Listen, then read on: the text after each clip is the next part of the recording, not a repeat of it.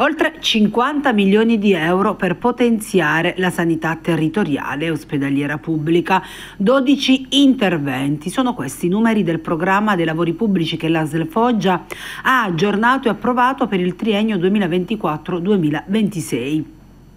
Adottato con deliberazione del direttore generale l'11 gennaio, il programma è stato redatto dall'area gestione tecnica ed aggiornato in base ai bisogni e le esigenze aziendali e in considerazione delle norme in merito agli adeguamenti delle strutture sanitarie, degli indirizzi della programmazione sanitaria regionale e aziendale e delle indicazioni della direzione strategica. Il programma contiene gli interventi che richiedono finanziamenti superiori a 150.000 euro che saranno finanziati con i fondi della legge finanziaria cui si aggiungeranno le risorse del Fondo di sviluppo e coesione.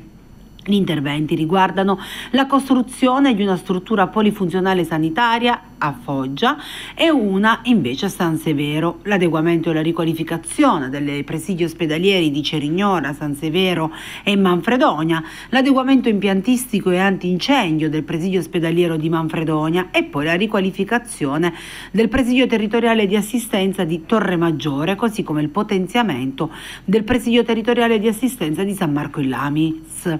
Tra i 12 interventi c'è anche l'adeguamento e il potenziamento tecnologico del presidio territoriale di assistenza di Vieste la realizzazione di una residenza per l'esecuzione delle misure di eh, sicurezza ad Accadia e poi la riqualificazione energetica e l'adeguamento alle norme delle strutture sanitarie di San Nicandro Garganico.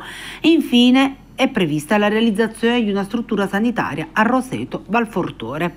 Ai 12 interventi si aggiungono poi altri sul territorio di importi inferiori ma già programmati e finanziati dalla finanziaria. L'obiettivo generale del programma, ha spiegato il direttore generale dell'ASL Foggia Antonio Nigri, è il potenziamento dei servizi di sanità territoriali e ospedaliera pubblica in un'ottica integrata la realizzazione anche di nuove strutture, l'acquisto di tecnologia all'avanguardia su tutto il territorio di Capitanata permetterà dunque il potenziamento della sanità foggiana.